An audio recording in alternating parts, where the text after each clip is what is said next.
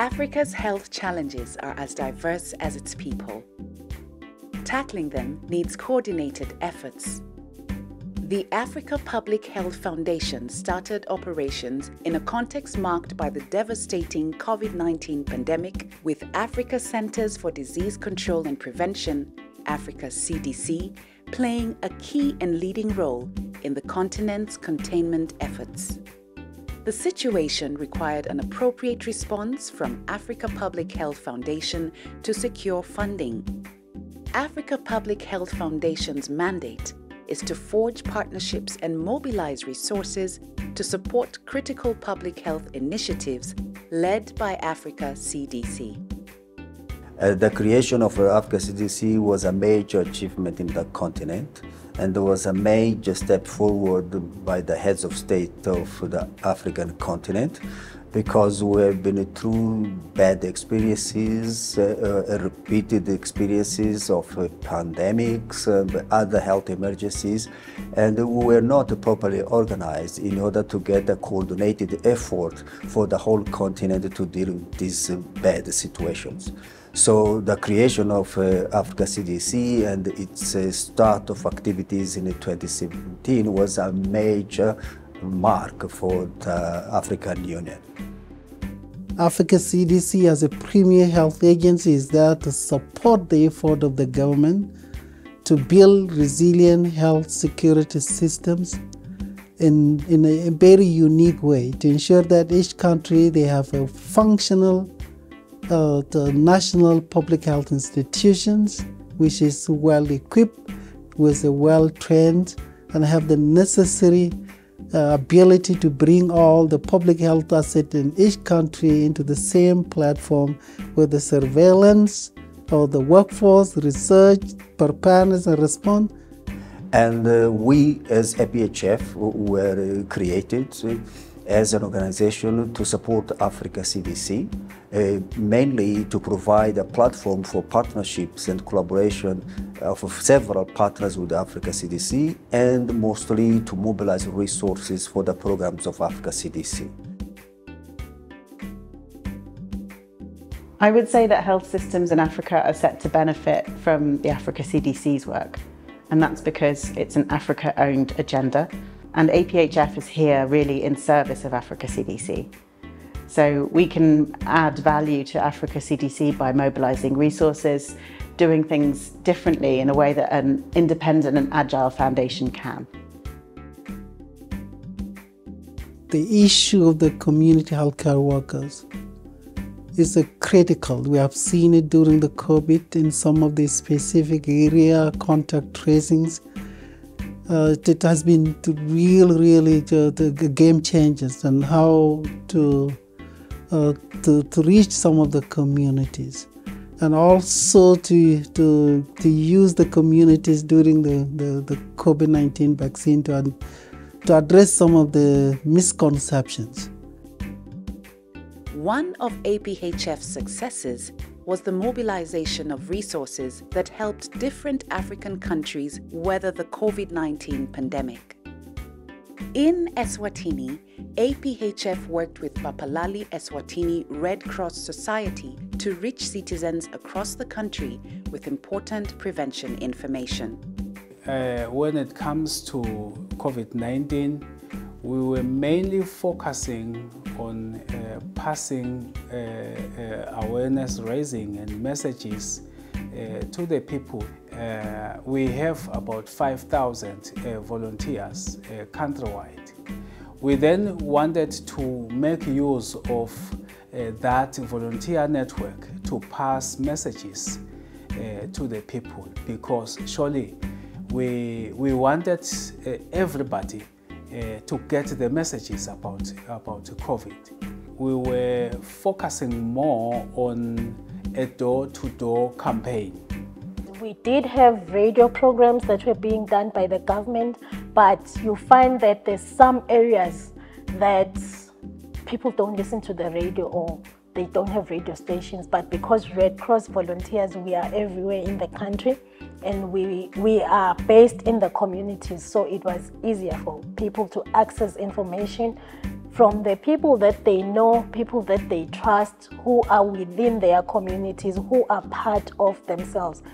Initially, when the project started, it was at the height of COVID. Everyone was worried, and there was a lot of misinformation. People were saying a lot of different things about COVID. Like, uh, for instance, when we talk of um, the injection, others would just tell us this is uh, um, one way which is used by the whites to make sure that uh, the population of Africans is being decreased. Some of they have the myth of this COVID. They said we have to use the traditional timbita. I don't know how to call timbita in, in, in English. They use timbita to remove COVID. Some, some of them, they use alcohol to remove COVID. So we just try to, to correct the myth that no, COVID, it's not all about, uh, we have to go to the hospital so that they will give you treatment. We trained 200 volunteers as a national society on how everyone can do COVID prevention, what to do when someone has tested positive in the family, that's the education that they would be giving to their families or in the houses, the homesteads that we were visiting. So, uh, the signs and symptoms of COVID, how to tell, and what steps to take should you, you find that someone in the family has symptoms. After testing what happened and those that were being treated at home to ensure that everyone had access to the treatment and they were taking the treatment, we trained them and they were given equipment thanks to the funding from our sponsors Africa CDC and Africa Public Health Foundation, we were able to buy equipment for our volunteers for protection. We, they had masks, they have thermometers, they had sanitizers, and they had all the right tools to, to, to administer the questionnaires when they went out there. Some of they, they welcome us very well they also like what we were told we were teaching them about.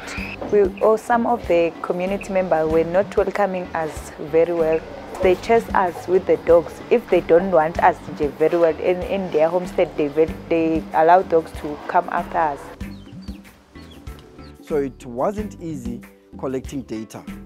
Some of the households would allow you to conduct the, to collect the data from them though some would still stand and say, um, we don't want anything to do with anything.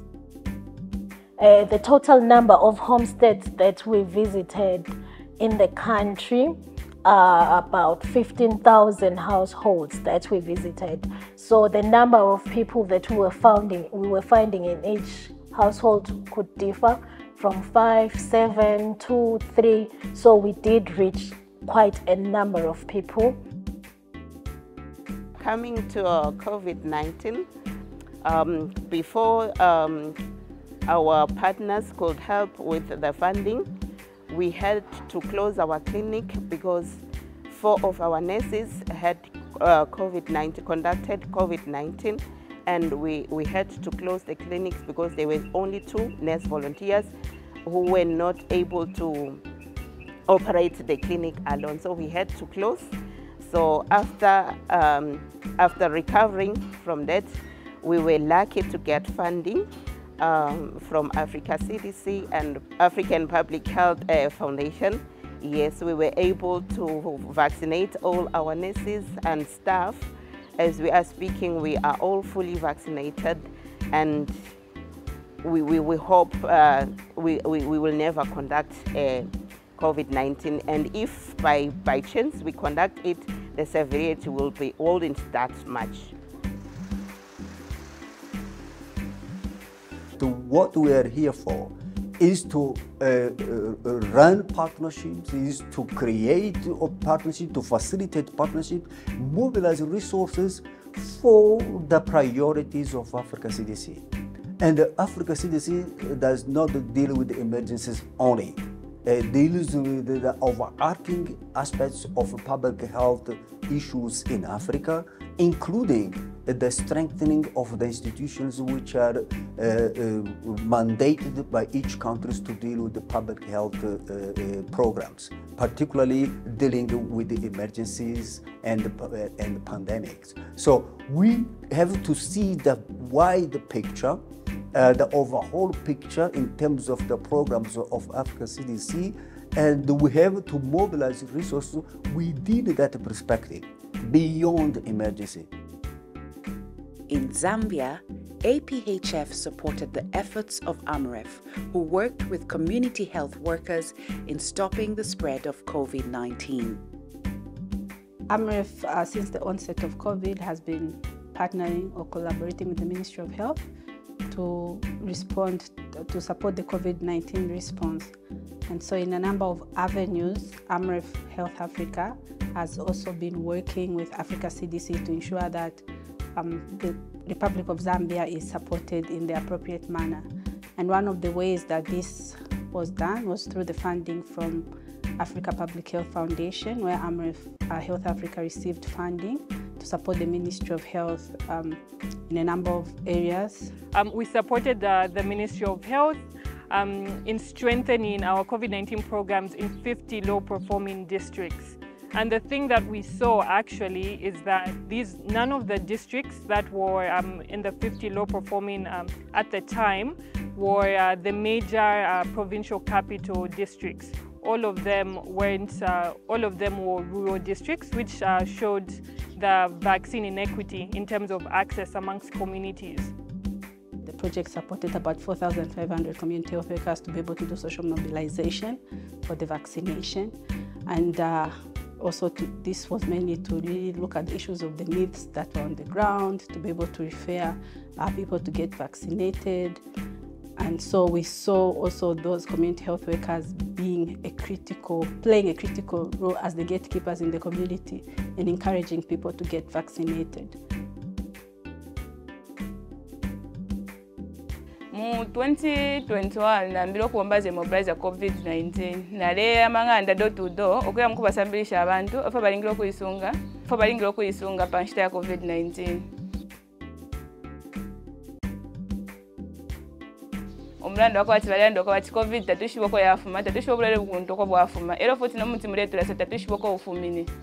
Bambi balanda ti fyafuma kumenshi. Bambi nabo balanda oko bati awo nga mwatulasa mwalasa apa nga twabikapo kakoini kakoini kalayikatilira takafuma olwo nga mwabikapo baubu yalayikatilira tayafumi nokwakaya balanda ti yaleyaka bambi nabo balanda ti nga balasa covid balelwala barefula nokuya okuikonse so icho chali challenge yakwati abantu abengi balike nokulasa enyereti ya covid kuti baishite protect. But tatwalekerapo pene twaleputisha okubasambisha abantu ofe balingira okuisunga ofe balingira okufuala face mask nokuti tabalingira okulasangwa pa group kuti basobola covid-19 so after balandoka bati kakoini kale katilira nga babika apa nalibebera okuba tine nalirasa enyereti mbikenipo nga mulefu nokuti nga kaaka era nga kwaba bali abamu byabasimina okulasa palya peene twala esente okuti leke nitubulekako nitubikepo tumole nga kayala ayikata olwo tubikepo bawubu tumole nga yala ayikata lero afe tabamona okuti tafyasumile tafyayikete baolise balisima abenge bali esumina okulasa nga bamonako bati tafile ekitiko fo bali etontonkanya bati abenge balanda kyawutula lwala kyamama alasapo abaana ifo fwe bakulu twashala pakuti ifo fwe bakulu nifo tufoye fyakulya fyabana So the biggest thing was what is our strategy going to be? And we work for communities, but in this case, we worked for and with communities. And our entry point uh, was our community health workers. So from the time that COVID had, emerged, us as a facility, we have managed to vaccinate people from 32% to 50% now at the facility and in the community. With that being said, at least the numbers have reduced, the COVID cases have reduced, and then we, we, we even have people who are willing to come and get vaccinated at the facility and in the community. So it has been an ongoing process. And uh, I would say the response from the community and the response from the facility as health workers were working hands to, you know, to mitigate uh, the COVID uh, virus.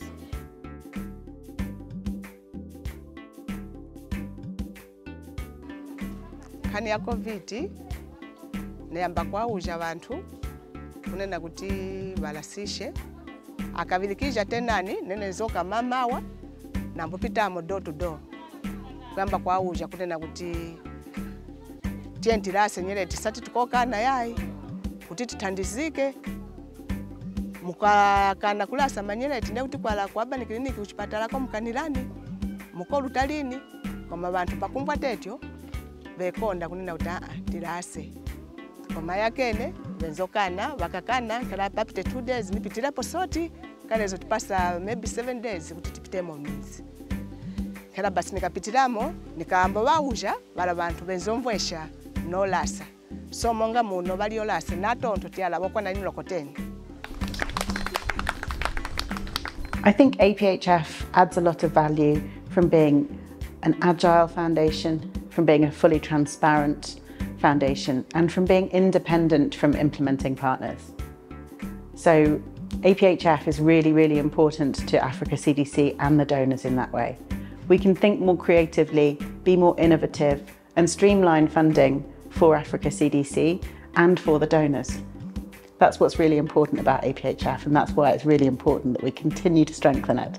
Uh, uh, I think this is the way we, we should proceed, that we have to get the continent to take control of its own affairs and manage its own affairs in, in order to progress.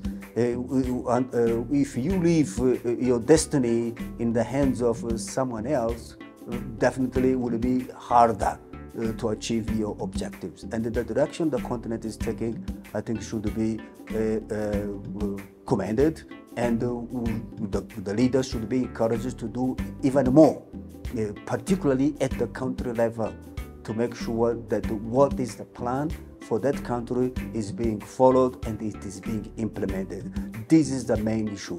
And all the partners collaborating with African institutions with the countries themselves to really understand this and be supportive and be guided by the plan of that country and respect the leadership of the country in setting the direction of that plan. If things go this way, I'm sure we, will succeed. That's what we need from the partner. So when the partner want to engage with Africa CDC, need to, to see uh, the, the, the core function of the Africa CDC, the new public health orders, how we can support the, the country to build uh, the strong health institution, how we're going to work with the country to build a very strong workforce. In charge with uh, uh, community healthcare workers as a foundation. And, and, and as it, that's the point to start the health security, knowing that there will be no health security unless we invest heavily on the community, equip them, train them with the skill that they truly need and how to lead, leave no any community behind, and use their expertise that they, they've been doing. And this is a call that we've been doing, it's working. Africa CDC during the, uh, the COVID has more than 12 partnerships, which are good example. This is, have changed life and they serve life. And we are so proud with the work that we did together with the partnership in line of uh, the African Union's uh, and the head of the state uh, the expectation to have uh, the, the health agency for the continent.